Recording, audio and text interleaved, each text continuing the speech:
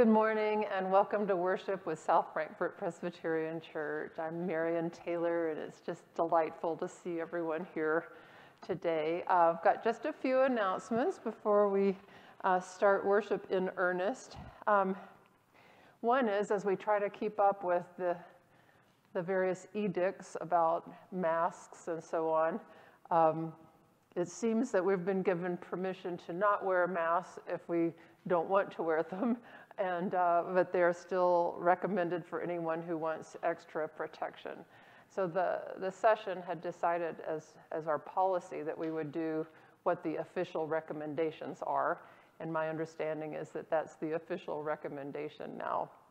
So uh, if you want that extra measure of protection, by all means, wear a mask. Uh, but if you're fully vaccinated, the, the wisdom out there is you no longer have to wear one in order to be protected. Um, Jason Shaw uh, texted me to let me know the youth successfully arrived at Montreat. So, uh, yay, uh, I know. I just, oh, every year I just pray for a safe arrival and a safe return, uh, but also for a great week. So keep them also in your prayers. Uh, we're going to have a wonderful adult vacation Bible school again this year. And I think probably our all-time favorite may be Dr. Jerry Sumney. Uh, he's going to be teaching about the Gospel of Mark. And uh, that's uh, evenings, June 21st through 24th, uh, Monday through Thursday of that week. And you do need to register because this is going to be taught on Zoom. So you need to be uh, sent the link for the four sessions. Um, and it's very easy to do. Uh, you can call the church office and Cindy Susan can email you the registration link that you need. And I think uh, registration has gone up quite a bit since we emailed that out. Um, we are soon to start a search for a new music director. And uh, Mary Elizabeth Stivers is uh, spearheading that effort. Uh, so it, I don't think it's too early to start networking. If you know about wonderful church musicians who might be interested and available. So just let Mary Elizabeth know if you've got a lead for us. Um, uh, the market has sort of opened up for church musicians now, so there's, we're going to have, a, I think, a good bit of competition, but we'll keep praying for God to send us just the right person anyway. Uh, attendance registration. Our new system worked really well last week, so let's do it again this week so we don't have to pass the little red booklets around. When you see those little doodle pads in the back of the pew in front of you, we call those the piddlin pads for Presbyterians. Um, you just grab one, pull off the sheet, write your name on it, and leave it in the pew. And that way, um, usually by Wednesday, we'll come in here, pick them up, uh, we'll kind of have an idea where you sat in relation to whom. Um, and then, you know, for visitors, that gives me what I need to know to contact people and, and welcome them. Uh, so thank you for helping out with that. Was there anything else that you were hoping I would announce? I, sometimes I, I might slip up and miss something important that needed to be announced. If not, let's worship God.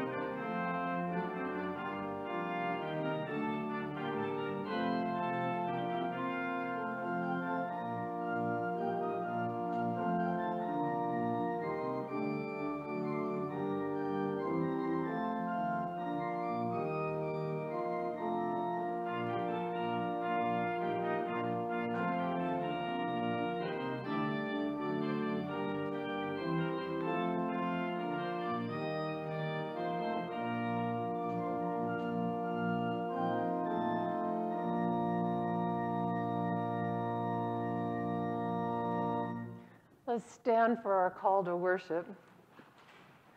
This is the day the Lord has made, a chance to be transformed. Everything old has passed away. See, everything has become new. Seeds spring up and fruit is harvested, ever constant yet always new. Everything old has passed away. See, everything has become new. There is might in meekness and strength in humility. Everything old has passed away.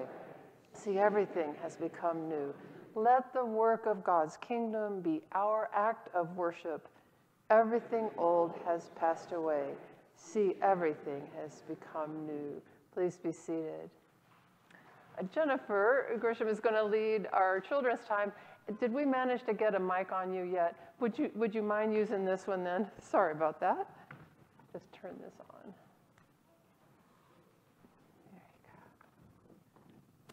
This is for somebody tall.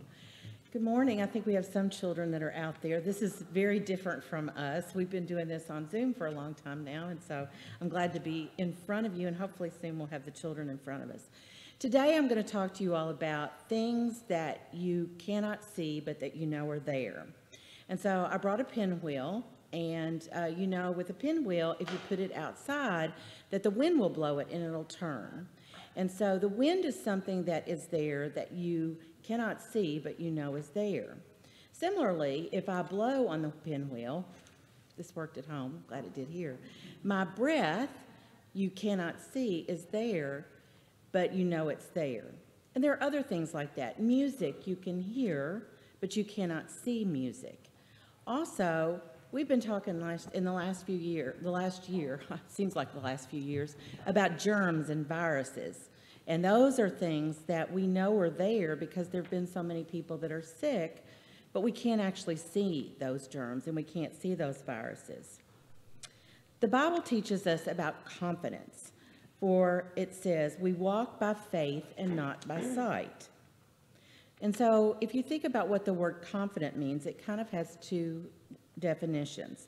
The first is that it's a strong belief in something. And it also means that we're sure of ourselves and our abilities. And our belief in God is our faith. We believe in God because he loves us. We believe we cannot see God, but we know that he created us and he created love.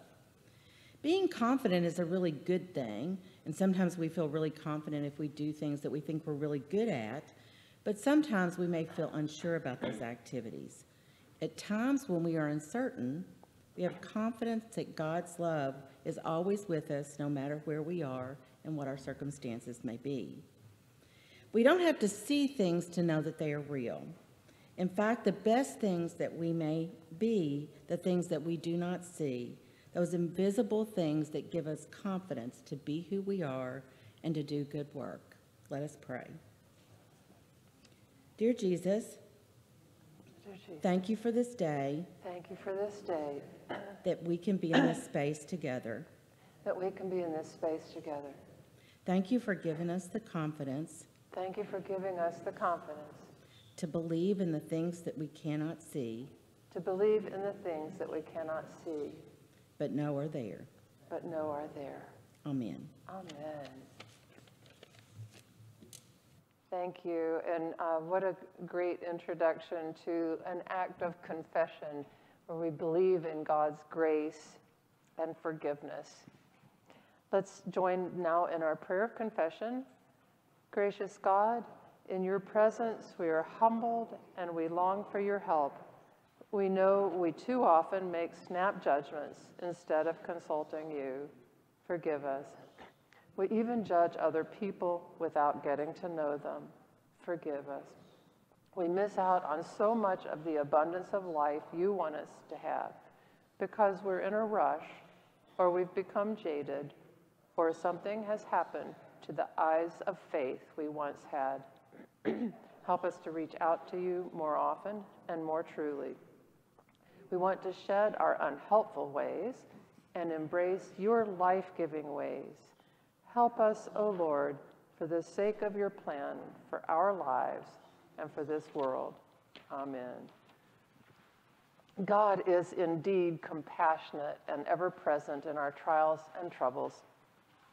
So accept now with grateful hearts that God has removed these failings from you, removed them as far as east is from west. Through the gracious love of Jesus Christ, our sins are forgiven.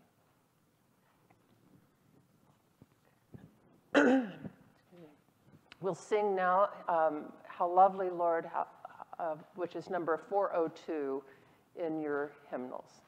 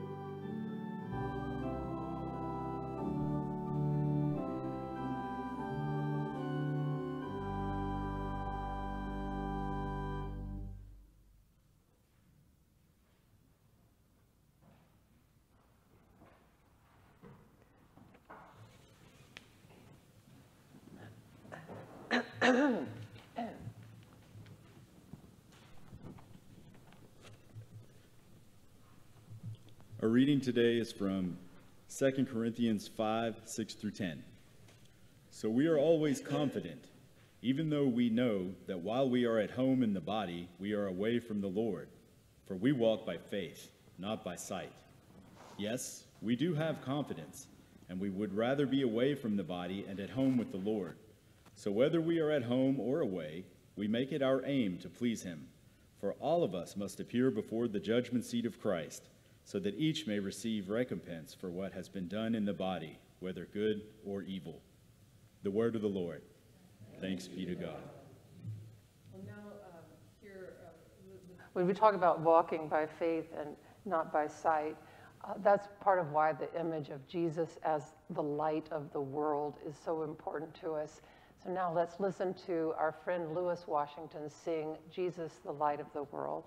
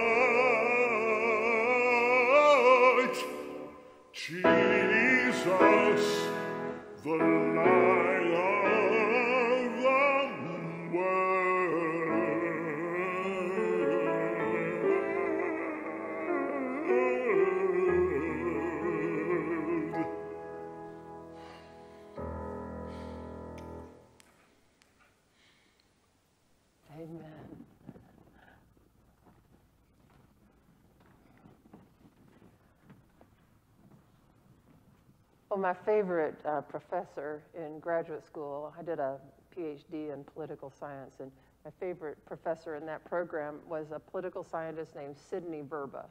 And I wasn't the only one who thought he was the greatest. Uh, when he died a couple of years ago, there was an article about him, and, and one of his fellow professors who'd known him the longest said this about him. He was always the adult in the room. Wonderful person. And he was a pioneer in the study of political participation by average citizens. What is it that, that encourages people to have the sense of efficacy to get involved in a democracy? But his, in some ways, his even greater contribution was to um, to see how you could do a comparative study like that internationally. How do you do survey research and compare uh, apples and oranges across countries in the field of political participation? So at one point, he got a, a large grant for a cross-national study of political participation, and it included the country of Nigeria. So he went there for a month or two, and just about every day, uh, he had meetings with collaborators at one of Nigeria's big universities. As he hurried back and forth across the campus, he often came across a Nigerian gentleman who was sitting in traditional robes in the shade of a tree. And they would exchange pleasantries. Then one day, they had a real conversation. The man identified himself to Dr. Verba as the chief of a large people group in a large territory. And he said, I, he had a question. He said, I've heard that you're a very important man, but you do not appear to be very important at all. Here, important people can sit in the shade for hours and not rush to meetings and not work all day. Well, every culture has its idea of what to look for, right? To determine whether to listen or defer to a certain person. Pause for a moment to think of what flags you may have learned, what filters you have, what you look for. Maybe a corner office with windows, would that be a signal? A certain way of enunciating and of matching subjects and verbs. Signs of financial well-being, such as good teeth, clothes, car. Hopefully maybe some sign of good character would be one of your filters for whether to listen to somebody or not. Well, the Apostle Paul had a situation similar to Dr. Verba's failure to look important to a Nigerian chief. Because the people in Corinth were culturally blinded to Paul's importance. They couldn't see it because Paul didn't fit the profile that they had for important people. He didn't have the signals that they were looking for. Oh, his writings were very impressive. Paul had mastered the rhetorical arts of his time, and he was respected for that. He had a huge vision about God's work in the world, and he was respected for that. But then he'd show up in person and things would go downhill. Well, first, he worked with his hands. He had a little tent making business. Ooh, the Corinthians thought. He works with his hands. Important people don't do that, much less spiritual leaders.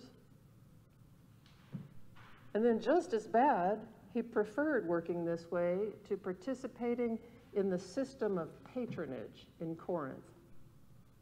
Everyone there was caught up in patron client relationships. It's how the gears of society meshed and turned. But Paul refused. He wanted to preserve the independence of his gospel message. But in the process, he'd insulted the patrons who had offered to sponsor him.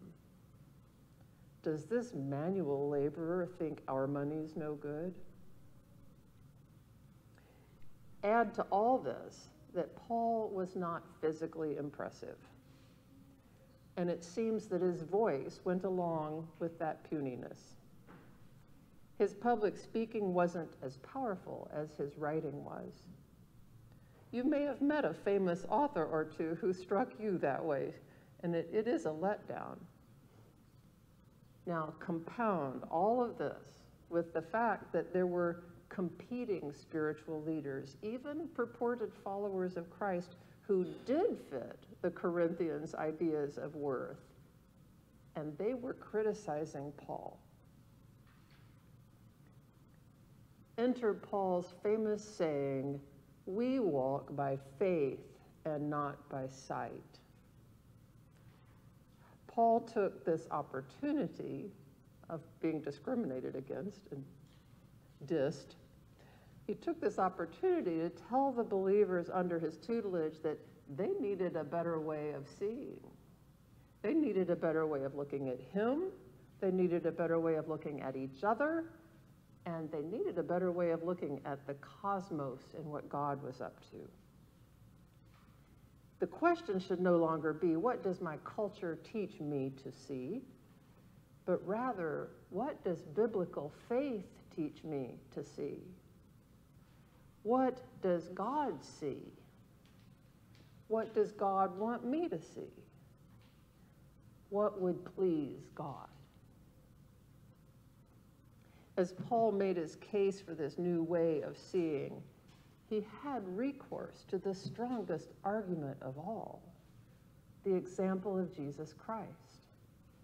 It was as if to say, if, if you think being puny and working with one's hands is an obstacle to giving someone your respect, then surely death on a Roman cross would be a bigger obstacle for you. Do you really think that a person who can tell you authentically about the Savior who died that way should first have to pass all of your culturally determined filters and tests? Well, that's a profound question and a profound point.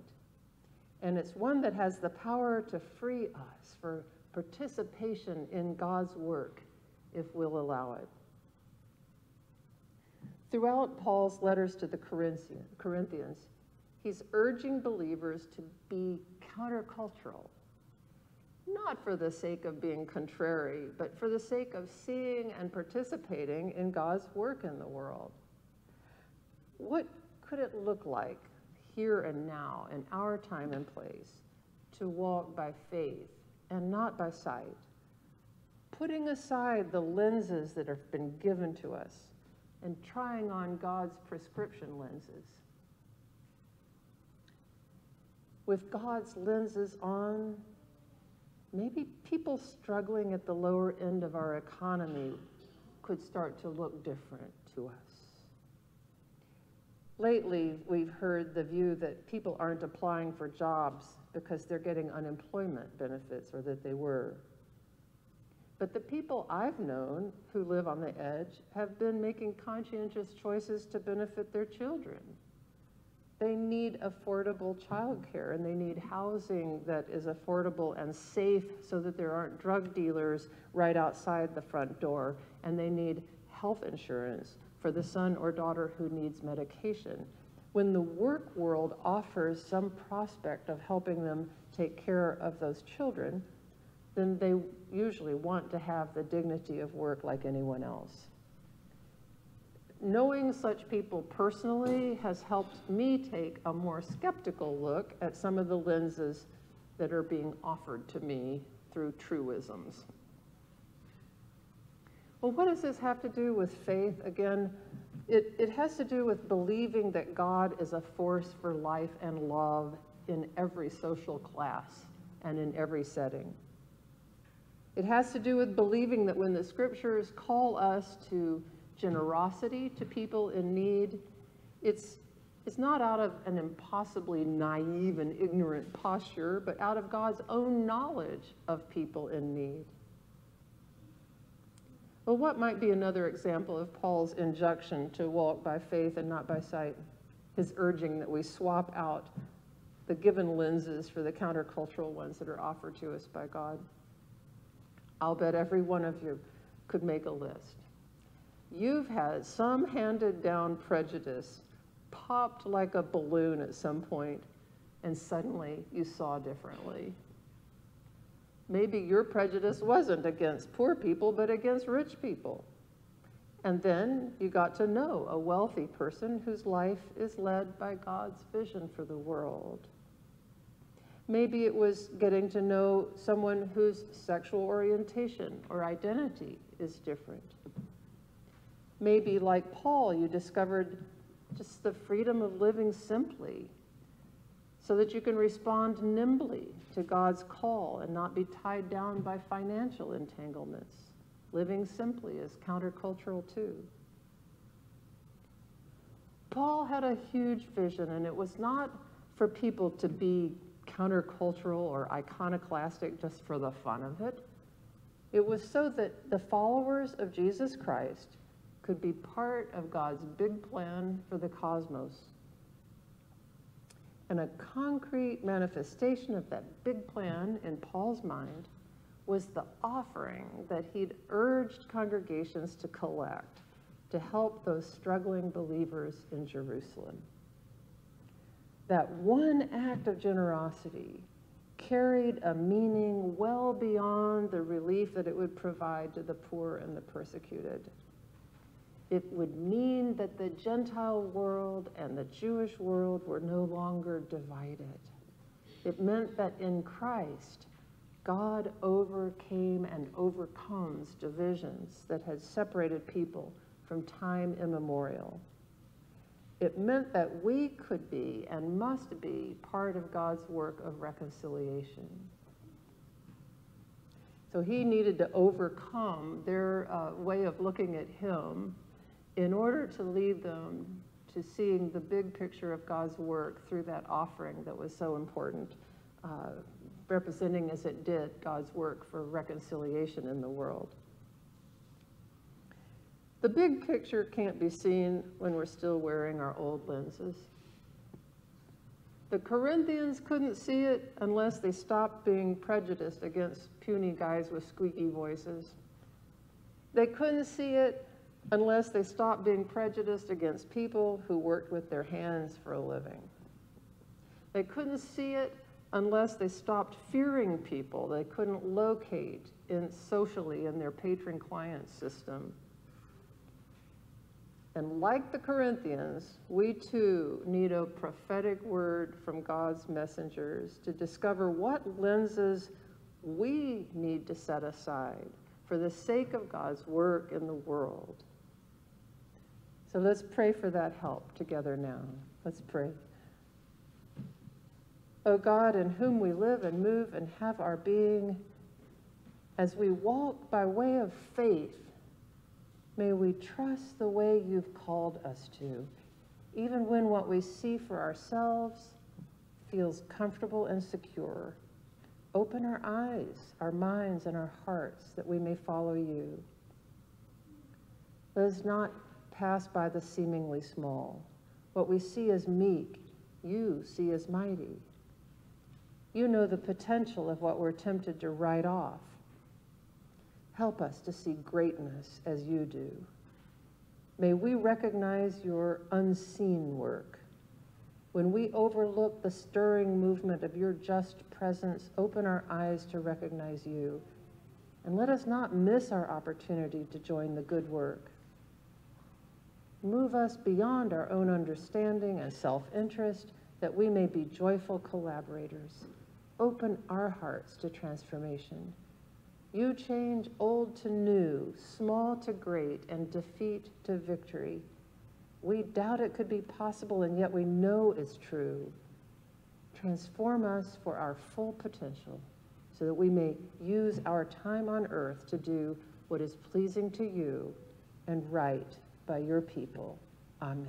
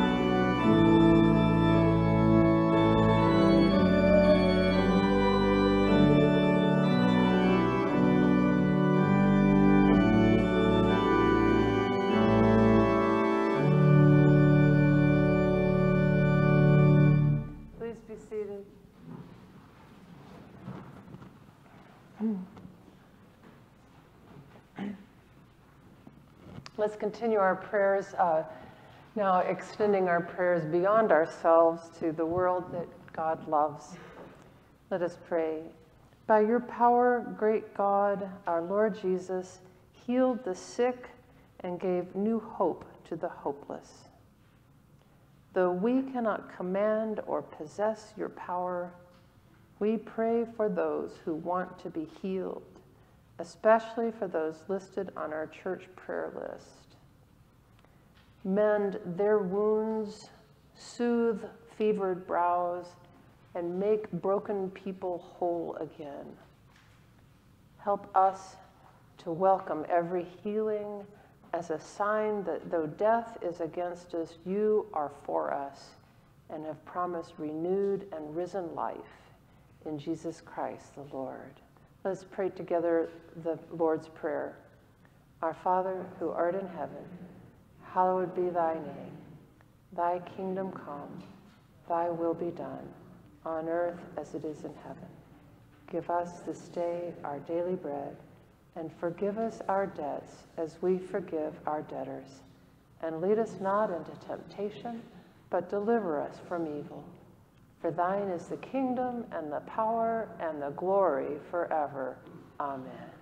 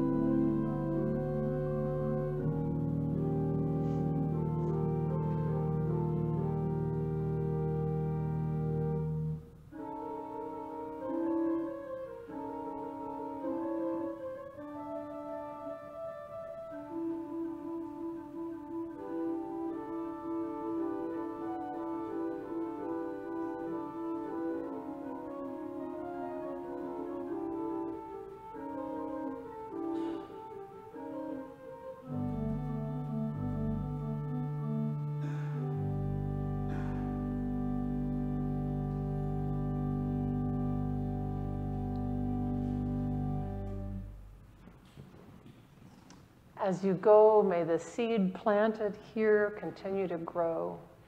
May the anointing of your life assure you that you are worthy. May you participate in a transformation greater than you could ever imagine. And may the love of God sustain you until we meet again. Amen.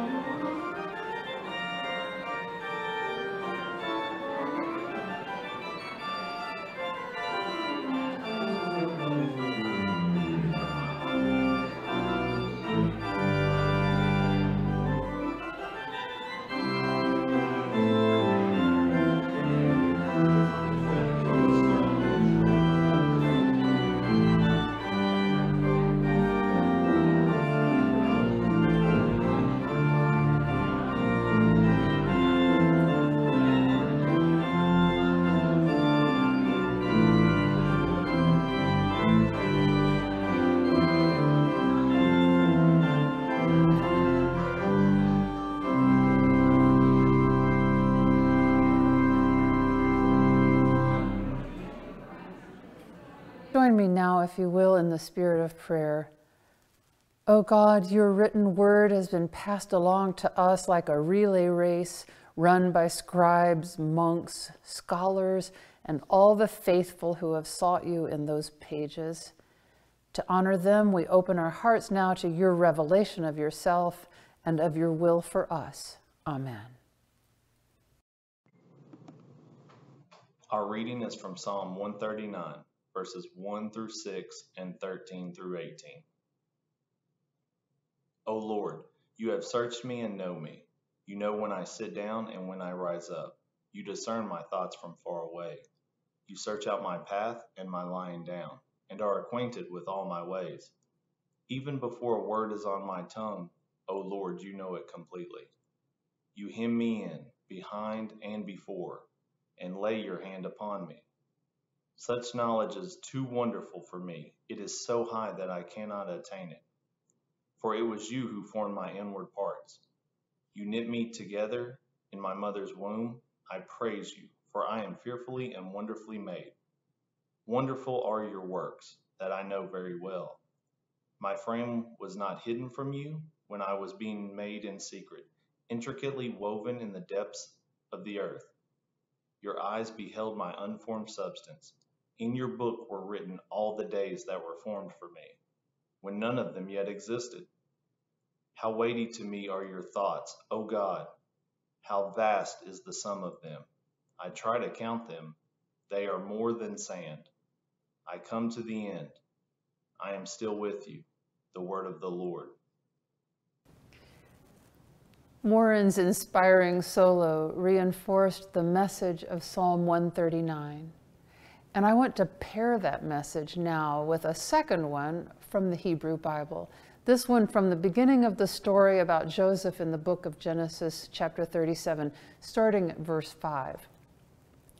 Once Joseph had a dream, and when he told it to his brothers, they hated him even more. He said to them, Listen to this dream that I dreamed. There we were, binding sheaves in the field.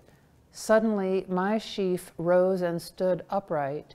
Then your sheaves gathered around it and bowed down to my sheaf. His brothers said to him, Are you indeed to reign over us? Are you indeed to have dominion over us? So they hated him even more because of his dreams and his words.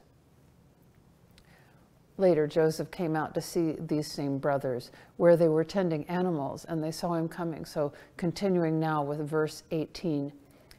They saw him from a distance, and before he came near to them, they conspired to kill him. They said to one another, Here comes this dreamer. Come now, let us kill him and throw him into one of the pits. Then we shall say that a wild animal has devoured him and we shall see what will become of his dreams. Americans are a bit obsessed with this topic of dreams. Especially during election campaigns, we're awash with references to something called the American dream. That term, the American dream, has the great advantage of being vague. Each person can fill in the blanks and say, Yes, that's what I want. Usually it means something like finding what you really want your life to be about and then having the opportunity to pursue that. Well, what makes the dream American? This is a reference, I think, to the perception that in some other countries, you're told what your life must be about or what your limitations must be. In some countries, nationalism tells you to subsume your dream to the nation's purpose. In some countries, caste or class systems are rigid and tell you exactly what sort of dream you're allowed to have. So the American dream is about sufficient freedom to define yourself and sufficient opportunity to explore that and live it out. So are all dreams equal, though? I was shocked once to hear a terrible misuse of the prodigal son story. The speaker was developing the theme that you have to have a dream. And he said, The prodigal son had a dream.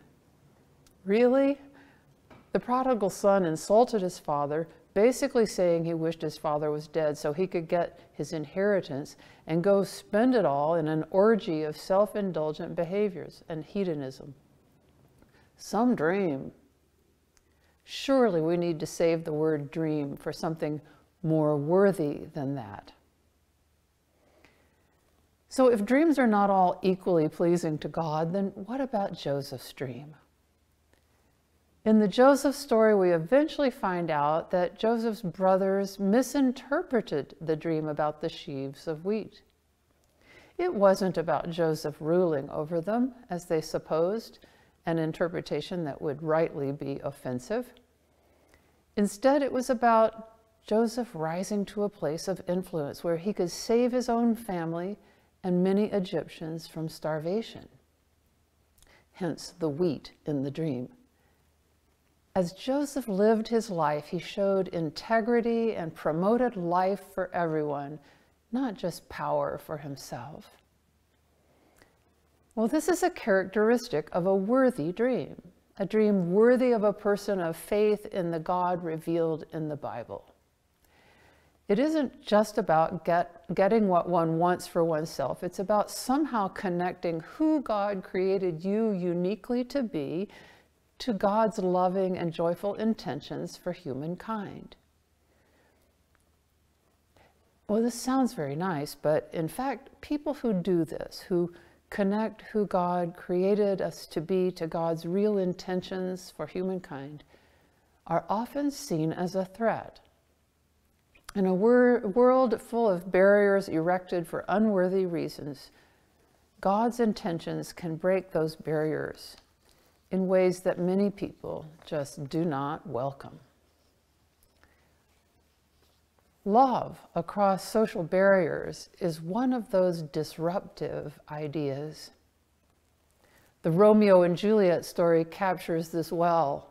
The Montagues and the Capulets represent all the groups that draw lines that love is not supposed to disrupt. In the United States, marriage between whites and blacks was illegal for a long time. The Broadway musical South Pacific was ahead of its time in 1958, addressing this topic, but in an Asian context. There are two love stories in, in it that deal with racial barriers to love. One subplot is about a young soldier who's falling in love with an Asian woman on a Pacific island, and he's torn because he knows his family back in the States would not accept her. An older native on that island sings the song Happy Talk to him with these lines You've got to have a dream. If you don't have a dream, how are you going to have a dream come true? So, love across social barriers is a threat for many reasons, not just fears about intermarriage. Love leads us to see the worth in others. Love leads us to see them, as Psalm 139 expresses it, as fearfully and wonderfully made by God, loved and pursued and known intimately by God who finds them worthy. And I think we all know what happens when we see someone that way. We want them to have all the same advantages that we have and more. Love leads to equality and justice. The speeches and the legacy of the Reverend Dr. Martin Luther King Jr. can't be reduced to one phrase, but his most famous speech is the I Have a Dream speech. He said that his dream was deeply rooted in the American dream. He always cast it, however, in terms that went well beyond any individual dreams of personal fulfillment. It was about a new sort of community among us and a recognition that our dream fulfillment depends to some extent on each other's freedom. It was a dream that was worthy of God's blessing.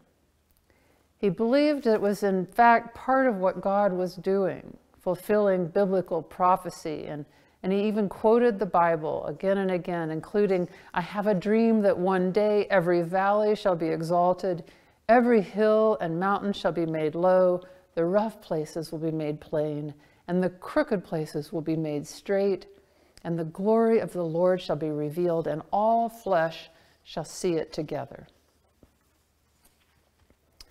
And finally, he articulated the very truth that made Joseph's dream about wheat not about being powerful, but about the fact that his destiny would save his family's destiny.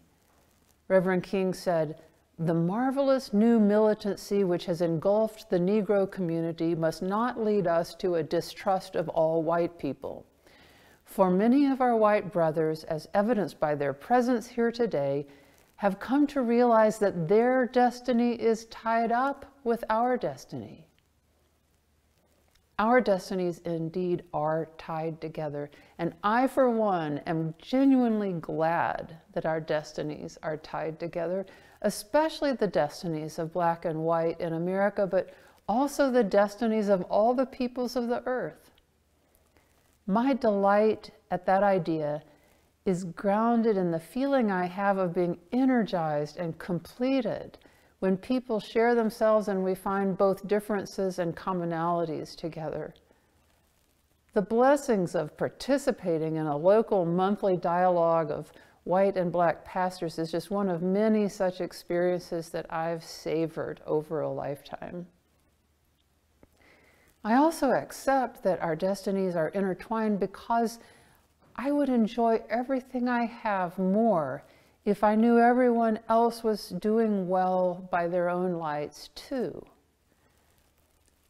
Those who get their vaccinations early rejoice, but will be happier when others they love get their vaccinations too. And we now know better than before that our health can't be secured without others securing theirs too. One's destiny indeed is tied to the destiny of others. This insight of Dr. King is profound and positive. And yet, he was killed. And that is often the fate of dreamers, and it nearly was the fate of Joseph at the hands of his brothers. In the community's Martin Luther King service today, we will hear a number of important messages, and one that particularly speaks to me is from the United Methodist Bishop Leonard Fairley. He meditates on the fact that the people who wanted King dead meant to kill his dream. The bishop repeats that dark statement made by Joseph's brothers, and we shall see what will become of his dreams. I can do no better than to echo and to ask you to listen to Bishop Fairley's conclusion. It is that we too can catch that dream and can carry it forward. When we let the unique selves God created, created us to be, connect to God's intentions for humankind, we will be led inexorably to participation in what is essentially a relay race. The baton was passed to Reverend King, and it has been passed forward to other hands to be carried forward by other feet. Let's run the lap that God has given us to run fearlessly and well. Well, I don't know what prayer would be better to pray to follow that image of the relay race than the spiritual guide my feet. So will you please sing it as your prayer, our collective prayer now?